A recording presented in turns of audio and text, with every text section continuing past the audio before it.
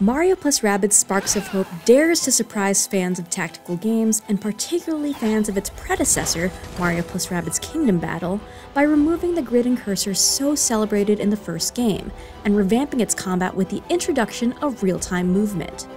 Heroes can now move freely around the battlefield. It's been real. There were a lot of ups and downs along the way, but in the end, it paid off, giving players a truly different tactical experience and opening up new possibilities. This is the story of those ups and downs. This is the first episode of Ubisoft's Deep Dev.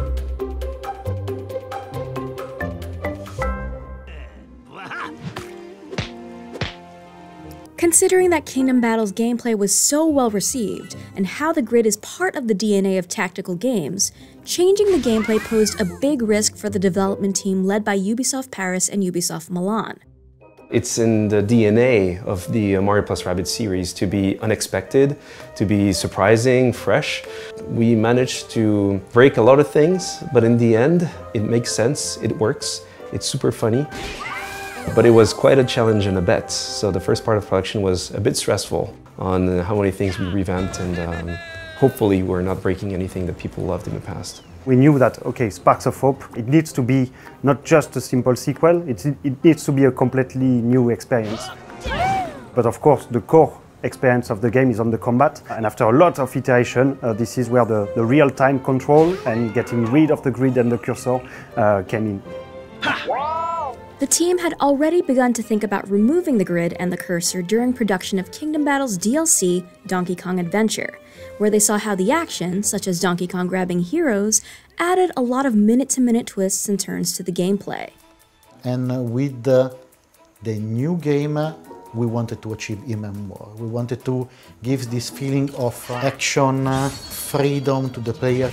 Players can react to enemy entering in your uh, area of attack and the same the enemy can do if you are entering in their area and this is already breaking the walls uh, of uh, the classical turn-based game. In Mario plus Rabbids Kingdom Battle, you were controlling the cursor. You will need to anticipate that, okay, if I send my character there, I will be able to shoot at this enemy, etc. But it was really uh, asking the player to project themselves uh, here, thanks to the real time, if you want to know if you will be able to shoot an enemy if you go there, just go there.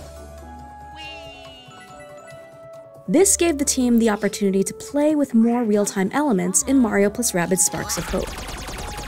For example, you can dash a bomb, it will trigger the explosion timer, so you have a short amount of time to pick up the bomb and throw it on another character before it explodes.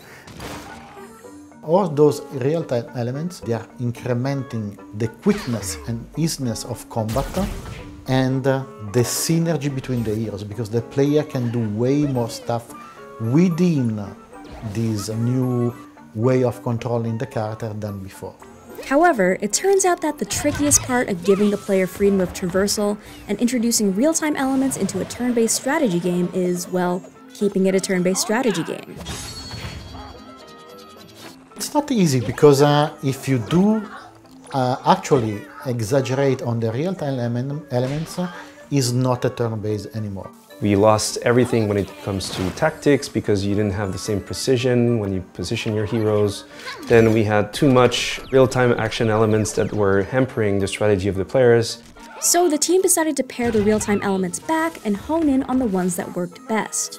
When we started to remove a bit of those real-time actions, because we had tons of them at first, we started to grab uh, what is important, which is you need all the time to understand where you are, what you can do, what your actions could be, where the enemies are, and what the level design is proposing to you as well. A big issue still remained, however. Introducing this degree of freedom of movement for the player undermined a crucial pillar of the turn-based strategy game ethos.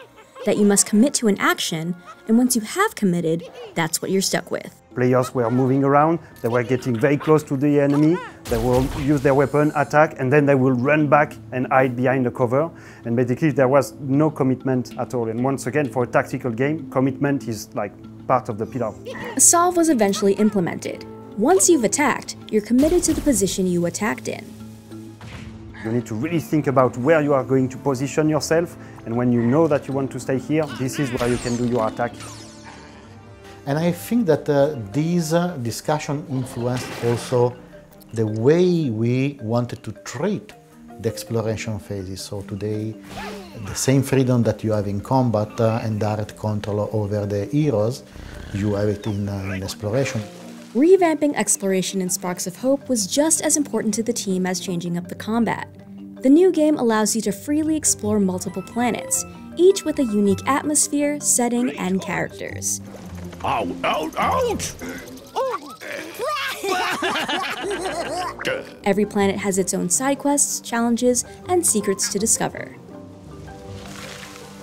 In Kingdom Battle, having battlefields and exploration on the same continuous track made for an immersive experience, but also created dependencies between the exploration and battlefield experiences, causing limitations for both. Really what it opened us to do is to really focus on each experience separately and ensure that we can build it the best as possible without having too many dependencies between the two. It also enables us to add much more epic and bigger battlefield because then we were not limited about what was going on and where it was taking place in the exploration.